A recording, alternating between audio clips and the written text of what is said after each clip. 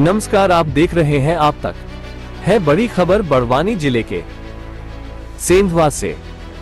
जहाँ एक मासूम नाबालिग बच्ची के साथ दुष्कर्म का मामला सामने आया। घटना सेंधवा शहर थाना अंतर्गत की है, जहाँ एक विशेष वर्ग के व्यक्ति जो रिक्शा चालक है, उसके द्वारा 9 साल की मासूम बालिका बच्ची के साथ दुष्कर्म किया गया कल रात बच्ची को। अस्पताल लाया गया जहाँ उसका उपचार जारी है। वहीं घटना के बाद समाज जनों में आक्रोश है।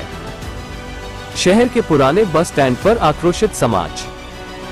जनों ने चक्का जाम कर आरोपी को फांसी के। साथ घर ज़मीन दोज करने की मांग की घटना को।